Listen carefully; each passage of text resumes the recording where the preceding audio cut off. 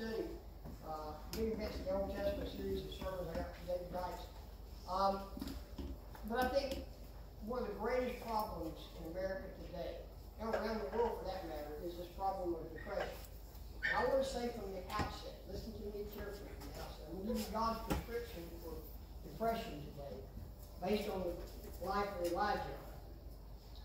But there are all kinds of depression. There's, it's not wrong to be depressed. Everybody say amen. It's not wrong to be depressed. It's wrong to stay in it. And sometimes you must get God, follow God's prescription. If you still have depression, then you need to seek some help. Amen. Always. There are all kinds of things that cause depression. Financial trouble cause depression. You can lose a loved one by way of the grave. That causes depression. You can um, you can have an emotional problem that causes depression. All kinds of depressions. It's not wrong. You're going to see some of the greatest men in the Word of God went through times of depression. So I don't want. We have a stigma in our country and in our society. I think that says if you're depressed, uh, something wrong with you. No, that's just a normal part of life. When you lose someone uh, that's close to you by way of the grave, you you will be depressed for a while. Say amen. amen. That's just normal. So what I'm talking about is what I'm going to give you today is the first steps that I believe you need to do. A lot of people are depressed simply because they don't follow what God tells them to do. And uh, there's three basic things here we're going to talk about today.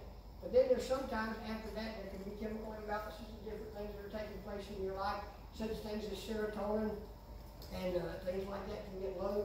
So sometimes you need to seek some clinical help if you need it. So let's let's begin with that. Listen, I've been I've been preaching on this through this series for quite some time now. And you think after a great spiritual victory like Elijah had on Mount Carmel, remember last week we talked about that? He found he uh, withstood all the false prophets of Baal. You would think after a a, uh, a victory like that that he would not uh, be depressed, but we soon find him in a pit of depression. That's what I want to talk about. Have you ever seen a doctor write a prescription? How many of you can read that doctor wrote? No. I figured it out. They send it to the pharmacy, and it's written in a handwriting that nobody can read except the pharmacist. And together the doctor says, what it says is, I got mine, you get yours. Basically, that's what it's going to say. I got mine, you get yours. But do, do you think you ever had, how many here ever had a bad day? Let me tell you about a man who had a really bad day. He said, and I'm reading from his from his report now, he, he filled out the insurance company. He said, I was laying bricks for a wall in a project. And when I finished the top of the wall, there were some extra bricks. Now, not wanting to drop the bricks and risk breaking them, I fixed a pulley out on a beam and I ran a rope through the pulley down to a barrel on the ground, and I pulled the barrel to the top of the wall and tied the rope off on the ground. I climbed up on the scaffold and started putting the extra bricks into the wooden barrel. I then climbed down and I grabbed the rope and untied it. I was going to lower the bricks to the ground, not realizing the barrel of bricks was heavier than I was. The barrel came down and I was jerked off the ground by the rope. And I didn't have the presence of mind to let go of the rope. Until it was too on the way up, I collided with a falling barrel of bricks and it gashed my shoulder. Then when I was pulled to the top, I jammed my fingers in the pulley, and when the barrel hit the ground, the bottom of the barrel broke, the bricks fell out, and suddenly the barrel was lighter than me. So I went down and the barrel came up. On the way down, I collided with the barrel, again bruising my legs. I fell right on the top of the pile of the bricks, causing multiple cuts and bruises. At that point, I completely lost my cool and let go of the rope. That's when the barrel fell on me and hit me on the head, requiring 15 stitches. now that's a bad day. that that's one any worse. that's a bad day. Some and, things I smoke don't like bricks. you, you, didn't hear that. We have to do that like uh, That doesn't sound like God, Lord. But, needs to go painting or something. but when you have a bad day and you feel a little discouraged and get a little depressed, God's Word has something to say about it. And I want to tell you something. Now, listen to me. Some great people suffer from depression. Abraham Lincoln, Charles Haddon Spurgeon, the Prince of Preachers, the wife of Billy Graham, Ruth Bell Graham, suffered from depression, periods of depression. I suffer from depression myself from time to time. Runs in my family. My mother was, had depression. Now, none of us, well, my sister did have clinical depression. I've never had clinical depression, but uh, depression is something runs, in, and it's not wrong to get depressed. Sometimes when I hear of something um, tragic that takes place within the church, I get depressed because I'm human. But God's got a way out of it, and that's what I want to give you. How do you know when you're depressed? Dr. Wayne Oates is a clinical psychiatrist, and he says answer the following questions. And if you answer these 10 questions, if you answer seven of them with a yes, then he says you're clinically depressed. Now, answering one or two of them just means you're suffering from a mild depression. Have you suddenly or slowly lost all initiative in relating to other people? Do you experience repeated crying spells that have no apparent cause? Women, you're not necessarily depressed when it happens. uh, have you persistently over a period of weeks awakened suddenly and been unable to return to sleep for over an hour? Do you awaken in the morning feeling tired and face the day with dread? Do you feel unspecified, scattered kind of pain aching all over? Do you find yourself regularly thinking about your own death, wishing life were over? Do you breathe irregularly, sigh repeatedly, and feel heavy in the chest? That's minus the pork sausage. Do you distrust your own wisdom, having trouble making decisions, or feel generally helpless? Do you find yourself irritable, cross without any reason? Do you have trouble being enthusiastic about anything? Answering yes to each seven of those questions, you're clinically depressed. So right now we're going to look at Elijah. Elijah got depressed after the Mount. Can you imagine he defeated the prophets on Baal on Mount Carmel, and then he got depressed. Second Kings chapter 19, verse 3 through 8. Stand if you will for the reading of God's word. Reading from the ESV. I want you to see Elijah's depression. How many of you know he was a man of God? What did I say? First Kings, excuse me. I said Second Kings? Shame on me. First Kings, chapter number 19, verse number 3. Then Elijah became afraid and immediately ran for his life. When he came to Beersheba that belonged to Judah, he left his servant there, but he went on a day's journey into the wilderness. He sat down under a broom tree and prayed that he might die. He said, I've had enough, Lord. Take my life, for I'm no better than my father. Then he lay down and slept under the broom tree. Suddenly an angel touched him. The angel said to him, told him, get up and eat. Then he looked, and there in his head was a loaf of bread baked over hot stones and a jug of water. So he ate and drank and lay down again. Then the angel of the Lord returned the second time and touched him. He said, Get up, eat, or the journey will be too much for you.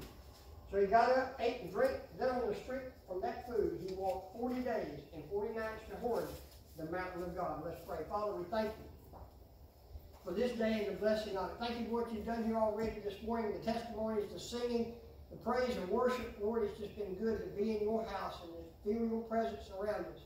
Now, Lord, we ask that you add to the reading of your word. Lord, open our minds that we might be understand this. Lord, this, this problem that is paramount in, in, in America today of depression, Lord, even our young people, bullied at school in so many ways, and they suffer from depression. Lord, we know that it is not wrong to be depressed. There is no sin in that. But it is wrong for us to allow it to get to the point where it begins to affect our lives and our service to you. So, Lord, I pray you'd help us to see this morning, first of all, your prescription. And, Lord, to, to before we do anything else, make sure we're following your plan. And we'll ask that if there's any here that are lost, today they be saved. In Jesus' name we pray. Amen. Amen. Amen. Thank you. You may be seated. Now, first of all, I want you to know that Elijah was physically exhausted. If you remember, after he had stood the the, the prophets of Carmel, prophets of Baal, he ran back to the city. Remember, he outran the king's chariot. You talking about run, Forrest, run. Forrest never ran like Elijah ran. I mean, he just whizzed right on by that chariot being pulled by six stallions. So as far as Elijah knows, he was closing, when he lays down there and says, Lord, take my life, as far as he knows, he's laying down and he's not expecting to wake up. He's expecting God. God had answered his prayer. Sent down fire from, he called down fire from heaven. So laying down and saying, Lord, take my life, I suspect he was not thinking about waking up. He had no idea he was going to wake up and open his eyes again. First of all, I want you to look at Elijah because he's physically exhausted. Did you know one of the major causes of depression is being physically exhausted? When you get tired, you're going to get depressed. Sometimes you get depressed because you don't take care of yourself physically. First problem Elijah had, he's, he had apparently now run non, non-stop from Mount Carmel over to Mount Horeb, which is about to Beersheba, which is about 160 miles. As I say, you remember how the Forrest ran across the country. He ain't got nothing on Elijah. Elijah ran that 160. He ran and ran and ran and rushed. He was totally exhausted, and he'd not eaten right. He'd not gotten enough sleep. He was thirsty. He was completely physically drained.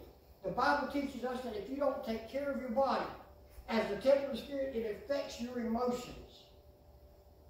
Wives, how many of your husbands, when they get tired and wore out and come home from work, drained and exhausted, they just, just a little bit you? Husbands, how many of your wives, when you come home from work physically drained and exhausted, they've had to put up with the kids all day long and they've been run ragged and everything's broke down, they're like, they're not in a good mood. So you see, being physically drained and physically exhausted affects you emotionally. God said, Elijah, get up. Don't lay there and have a pity party. Get up. Every time I read where it talks about the prayer of Elijah, he said, Lord, take my life. That's enough. I've had it. In 1936, Benjamin Franklin Dykes was preaching it in his church. And he said, on this very text, he said, Elijah said, Lord, it is enough. Let me die. And he turned around and walked down the pulpit and died. Right in the middle of the church. Now you say, well, that's terrible. Not for a preacher. I can't think of any other way I'd rather die than after finishing a message. And, and just, I, I mean, I think it scared, scared the devil out of some people, wouldn't it? I think so. But he said Elijah got, now he answered Brother Dyke's prayer, but he didn't answer Elijah's. He said, Elijah, I'm not through with you. Don't lay there feeling sorry for you. Sometimes when you're depressed, when you don't want to do anything, you don't want to talk about you don't want to get up out of bed anymore. You ever had those days? I have. I have. I just think, matter of fact, I have set the alarm. I said, I'm not one of these people. Let me just be honest with you. I'm the pastor. I'll think, matter of fact, I'll show you in a minute where I try to be open and honest with you. I'm not one of those people that wake up saying, Good morning, Lord. I set an alarm. I try to get up by 7 o'clock. I set an alarm for 6.15. I set one for 6.45. I set one for 7 o'clock. And Joy will tell you a lot of times I'll grab that phone and say, set an alarm for 7.15 and go back, back to sleep again. So I'm not one of those that jumps up all of a sudden. So I have some mornings when I just seem to stay right there and sleep. Boy told me I had to get up this morning because I had to come preach. All right. But um, John Wesley, the founder of the Methodist Church, listen, you don't want, sometimes you got to force yourself to just get up and do what God's asked you. And if you've gotten enough sleep, now that's one thing I'll tell you. I have a problem getting enough sleep. Number one, I try to stay up and watch TV sometimes too late, especially if there's a ball game on. Oh my, I'm just burying it all today, aren't I? Um, huh? Up. Confession is good for the soul. I usually try to get about seven hours of sleep a night. I don't always do it. And uh, seven hours, they say, not enough for a man my age. Which, in case you wonder how old I am, I just had my birthday. And for my birthday, the church gave me a rocking chair and a blanket.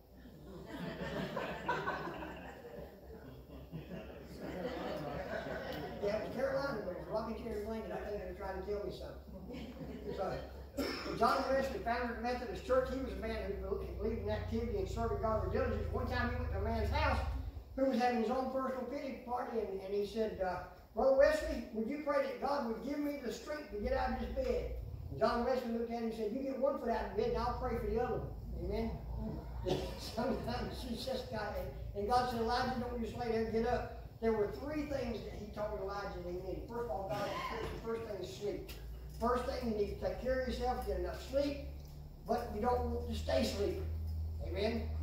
If you're not getting enough rest, it builds up and accumulates, and you get what's called sleep deficit, and that makes you ill and irritable and depressed and everything else. Number two, eat. The second thing he did for Elijah was he gave him something to eat. Not only did he give him sleep, he gave him the right food to eat. He fed him. He fixed him a cake and some water. God fed him some kind of cake, and gave him water, and he said, Elijah, you're exhausted, you're wore out, you're depressed, and, that's causing you to think wrong and eat wrong, and so why are you asking me to try to kill you? Get enough sleep, and you'll feel different. And the third thing, and this is important, he said exercise. Oh my. Exercise. Now that don't mean like this. That's not the exercise we're talking about. he got up and he ate and drank and strengthened by the food. He traveled 40 days and 40 nights. Not only do I want you to get enough sleep and eat, but I want you to exercise. I want you to get up. Listen, did you know one of the best things for a period of depression is exercise? I know that. That's why I try to work out on a regular basis. Not able to a lot of times, but I try to. Um, I go to Planet Fitness and uh, work on machines. I'm not one of them that's pumping weight to try to get big. I'm just trying to pump weight, stay good, stay fit. I will preach as long as I can. If there's somebody in this room who's going through a time of depression, God's prescription may be as simple as that for that. What I'm saying to you, these are the first things you do. You get enough rest, you eat correctly, take care of your body, and you exercise. Those are the first things you do. I, do you know that? I think that would cure at least 50 to 60 percent of the depression in America today if people would just follow. Now, there is some above that. And I'm not going to dwell into that. You just need to seek, you need to seek some help. If you're eating right, sleeping right, and getting exercise, and you're still battle depression, then you need to find some, find some help. Amen? Even the teenagers, it's okay to say to somebody, I'm depressed, I don't feel right. Matter of fact, that's what you need to do. And I encourage you, we've got too many teenagers that are committing suicide today. We've got too many people Amen. that are dying because they think it's a stigma if they ask for help. And that's what I want you, I don't want you to feel that way. Secondly, Elijah was spiritually defeated, and I can't believe this, he just, he just defeated the prophet on Mount Carmel, but he's, second thing, he's defeated. When you're spiritually defeated, God said, I'll speak to you. In verse 9 through 13 of that chapter, it says, He entered a cave there and spent the night. Then the word of the Lord came to him and said, What are you doing here, Elijah? He replied, I've been very zealous for the Lord God of hosts. But the Israelites have abandoned your covenant, torn down your altars, and killed your prophets with the sword. I alone, listen to this, I alone am left, and they're looking for me to take my life. Woe is me, I'm the only one left serving you, Lord. Everybody else has abandoned me. Then he said, Go and stand on the mountain in the Lord's presence. At that moment the Lord passed by, and a great and mighty wind was tearing at the mountains and shattering cliffs before the Lord. But the Lord was not in the wind. After the wind there was an earthquake, but the Lord was not in the earthquake. After the earthquake there was a fire, but the Lord was not in the fire. And after the fire there was a voice. Listen to this. A soft whisper. When Elijah heard it, he wrapped his face in his mantle, went out and stood at the entrance of the cave. Suddenly, a voice came to him and said, What are you doing here, Elijah?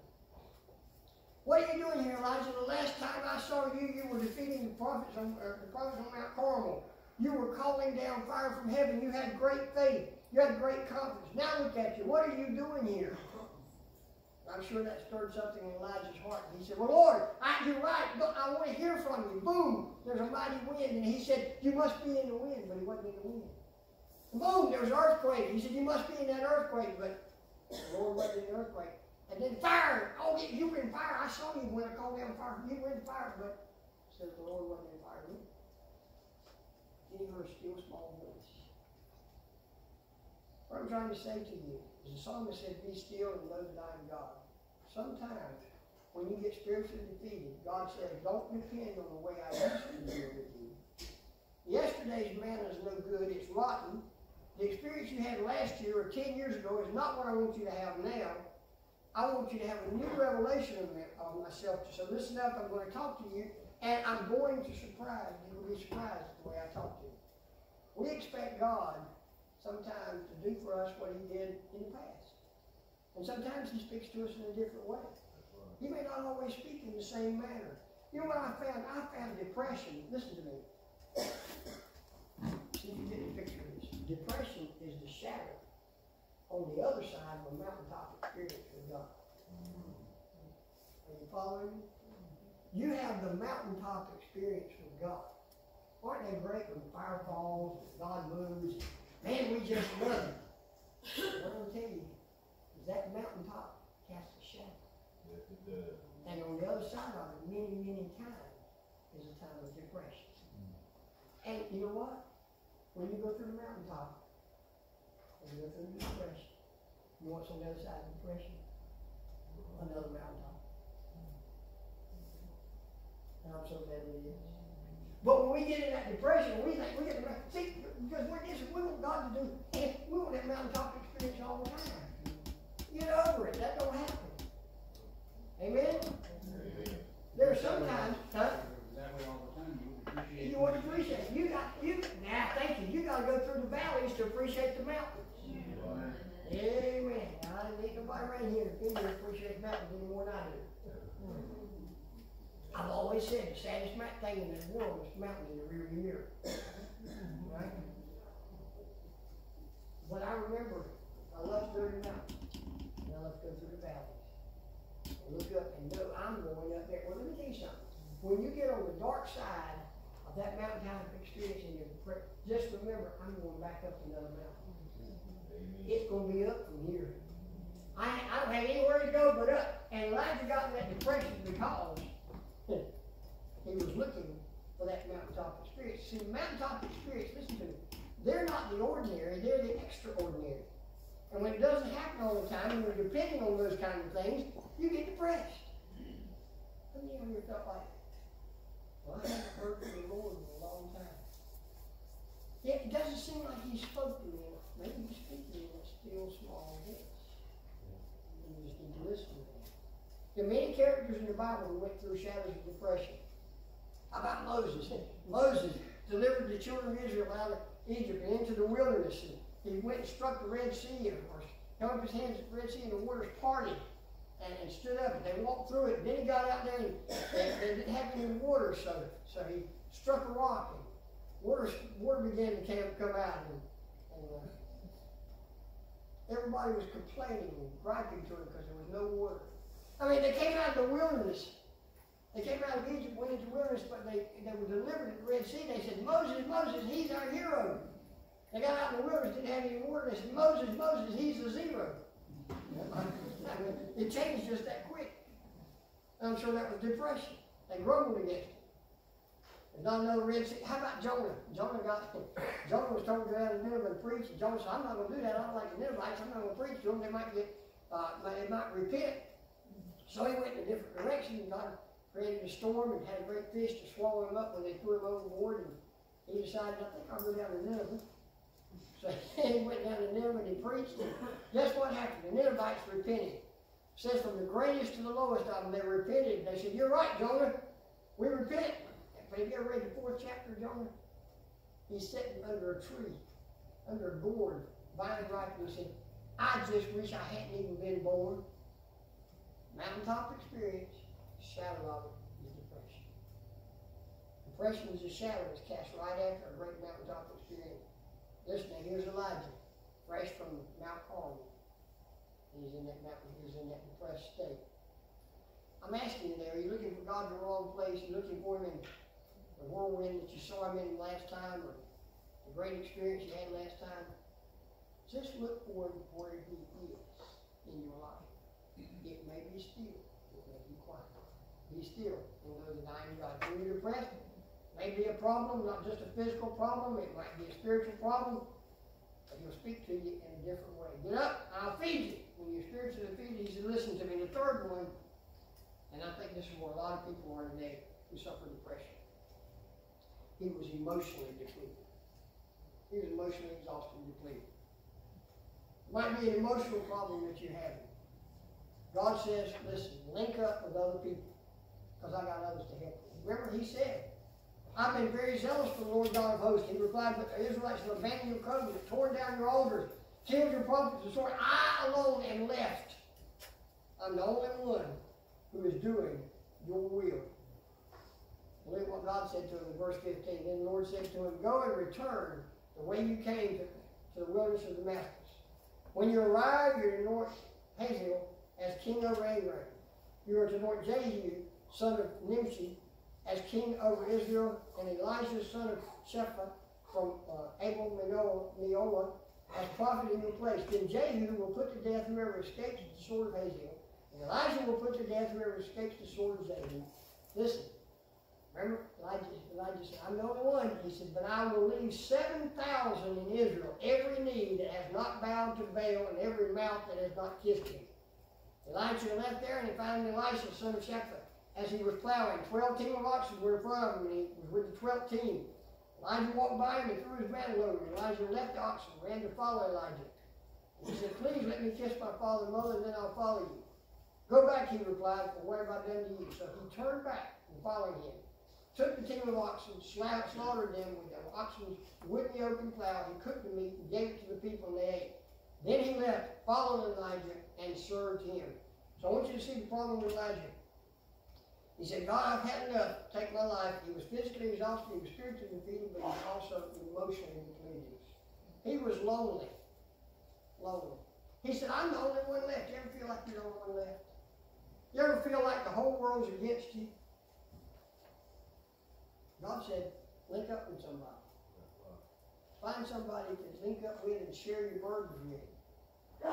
Some seminaries teach that pastors, I'm going to really blow your mind here and teach, I mean, I've been told this many times. They teach that pastors need to be professionally separated from their congregation.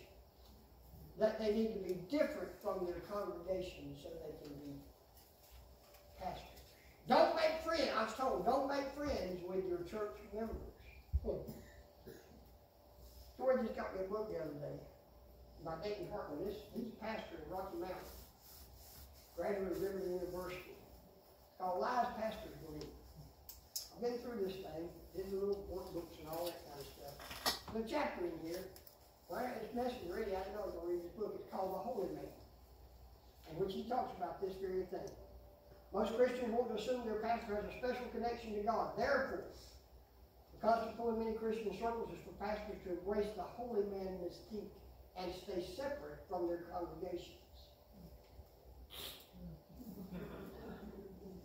That's a big theological term. If there's any truth to that philosophy, you're hell. Alright, exactly. I want to tell you something. Listen to me. From Dayton Hartman, of course, I'd already said this before I read what he wrote. I'm a sinner, just like. We're all sinners, saved by the grace of God. Amen. The only difference is God has called me to preach His gospel. He's called you to preach His gospel. He's called me to do it full time. Amen. He's called you to preach it full time, but He's called me to preach it full time and let you take care of me. Amen. That's the only difference. I go through the same problems that you do. I go through the same conflicts that you do. I face the same temptations that you do. Men, when I get up in the morning, I put my pants on just like you do, one leg at a time. Unless you're in the Navy, Gary. You learn in the Navy, you put on sitting down, two legs down. Amen? Right? You know why? Because be on the ship rolling and hold up one leg. You're going to kiss the bulkhead in just a minute. I'm no different. I'm no different. And I want you to look at me as that being different. Now, I want you to respect the call that God has on my life. Don't misunderstand that. But that's God, that's not me. That's right. Somebody said, one preacher said, if I could do anything else than preach, I'd drive a truck and more money than it. Preaching is feathers one day and chi- chicken one day and feathers the next. Basically, that's what it is. But you know what? I'm in it because that's what God wants do. But I'm your pastor, so respect that. But don't put me up on the pedestal. I don't, I hate to fall especially at my age. Much better than used to, all right? But I don't know where we get the idea that pastors should be somewhat separated from the, I, I'd rather be close to you and identify with you, because then I can feel your heartaches, I can feel your disappointments, I can feel your joys, I can feel your pleasures. I can laugh with you, I can cry with you, because I know what you're going through. I think that's what Jesus did. Amen. He didn't separate himself from the people. He embraced it. I think that don't make friends with members in churches why seventy percent, according to recent leadership magazine, seventy percent of America's pastors said they don't have any close friends. Seventy percent? And fifteen hundred ministers leave the ministry every week. A thousand five hundred ministers. They don't have any strength, they don't have any network to help them out. Elijah, God said, Elijah, I know you're depressed or you think you're all alone. That's not true. I got 7,000 Elijah just like you. So when you're depressed, you need to look around and you need to find brothers and sisters in Christ to reach out to them to share your burdens and share those. You need a small group of friends with which you can relate, where you know their names and you know them personally. Small group studies is a great place to do that. Say amen. Amen. Then you need a large group where you may not know everybody. We're not that large, but I I dare say there's some people in here you don't know. It's called Tabernacle Baptist Church. But link up with them. Share the problems. If you don't link up with problems in a small group, link up with the large congregation. The Bible says, listen, don't just lie there, get up if you're depressed. Don't think there's no voice from God. Listen up, God's speaking to you. And don't think that you're all alone. Link up with others. How many of you know now? Mark Unger says a man will never tell another man his problems unless he thinks that man can fix it. But men, we we have to be a little bit different than that. We have to share our problems so somebody can help us fix it. That's why we started men's groups to try to uh, share one another's burden. I found out men go through the same thing. We all go through the same thing. Maybe different times, but at some point in our life, we're gonna face the same temptations, same trials. Say, men, how many of you men ever got aggravated with your wife? See, you thought you were the only one, because you ain't never shared it with anybody. Say amen. What I'm saying to you is that's where you find, when you bond together like that and you share your troubles and trials, you find out, hey, somebody else went through this, how'd they get through it? Well, they did it this way. They learned to say yes, dear. Yeah. we didn't feel the closeness to you, you to us, we would feel comfortable being able to come to you and ask you for some guidance. I know. I, and that's, that's what I'm saying, that's what I want you to, I want you to be close enough to me that you feel comfortable knowing that it's stay between us, but ask me for guidance. And, and, and I'll try to seek God's you guidance. not my guidance, but God's guidance. But that's, that's what it's all about. So I want you to understand, I guess what I'm trying to get at is this. Uh, I don't want you to be so afraid to tell somebody I'm going through depression. I'm, I'm not feeling well today. This is a place, Tricia sings a song. It's okay to not be okay. This is a safe place. And that's what church is. Church and the body of believers. You see, the church is not the building, the church is the body of believers. And the body of believers should be a safe place where you can look at somebody that you love and you know loves you and say, know, I don't feel okay. I'm not okay. I need some help. And then you can come together and you can pray together and you can look in scripture together and you find God's solution for the problem. And that's what church is all about. That's what Christ brought us. I'll close with this illustration. Man came to a pastor who was going through great financial crisis. Man lost literally hundreds of thousands of dollars. He owed everybody. And the pastor asked him, said, How in the world are you even surviving? How can you smile? How can you have a good person? How can you be enthusiastic about Jesus and about life when you're going through all these kinds of problems? He looked at the pastor and he said, Next time you're at my house, I'll show you. So it made the pastor curious. So he went to visit him. And he said, I told you I'd show you my source of strength. So he went in the den and there's this beautiful painting. And it was Dan, Daniel in the lion's den. And Daniel was standing there among some clothes. These were not sleeping lions. These lions had their fangs bared and they were growling, looking at, you could just tell they were ready to eat Daniel up. But there's a shaft of light that seemed to be falling down from the roof of the cave, and uh, in which Daniel and his lions were being kept in. The man said to the pastor, "Look at Daniel's eyes." And he looked closely. Daniel wasn't looking at the lions; he was looking at the light. So when you get surrounded with a lot of adversity and a lot of hard times, don't focus on that. Focus on the light. You want to see the light. Amen. Now, I wanted to preach this message this morning because I really believe that one of the greatest problems we face in the country today is, is depression, are depressed. Not clinically depressed, not where you have to be institutionalized or anything like that, but just going through times of depression, whether it's the loss of a loved one, or financial setback, or emotional heartache, all kinds of things can cause a minor depression, and that's normal. But I think sometimes, rather than seeking God's help and the help of God's people, we try to battle it ourselves. And that's when we get clinically depressed. And if we just take it to the Lord and let God use God's prescription and let God speak to us through other people. It can be solved. In.